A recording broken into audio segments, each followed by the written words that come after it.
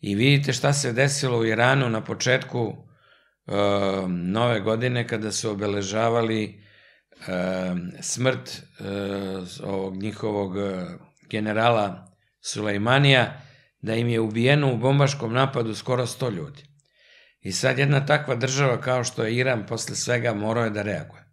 Ali to je jedan monstruozno genijalan način da jednu državu kao što je Iran, koji je bio neverovatno suzdržan u pogledu odnosa prema pojasu Gaze, uvučete u rat.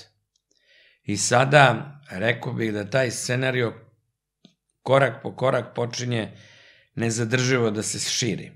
Amerikanci će verovatno odgovoriti Iranu, možda opet ne direktno. Izrael je već odgovorio ubijajući u nekom objektu u Damasku pripadnike iranske revolucionarne garde. Pakistan je delimično odgovorio. Imamo tu osovinu Hamas, Hezbollah, Huti. Huti već bez ikakvog straha ulaze u neku vrstu ograničenog rata sa Sjedinjim američkim državama i e, Velikom Britanijom, pa reklo bi se i Izraelom. I čini se da će u 2024. godini sve to voditi ka pojačavanju, proširivanju ili kako se to kaže, ka eskalaciji sukoba, a ne ka njihovom sužavanju. Znači idemo ka širokom grlu ipak. E, nažalost, ja mislim da ova 2024, pazite, razgovarao sam sa nekim ljudima koji, za koje sam se uverio da imaju sposobnost izvesnog predviđanja.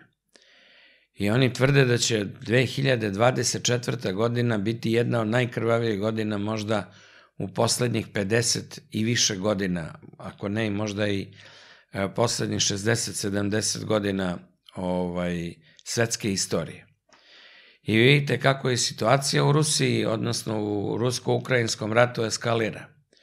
Ukrajinci su već nekoliko puta i pred novu godinu i sada napadali civile u Donjeckoj oblasti i tu počinje već da gine na desetine civila.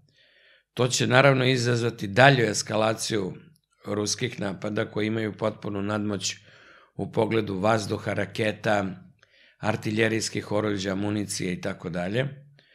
Onda neko nagoveštava čak potencijalni rat između Etiopije i Somalije.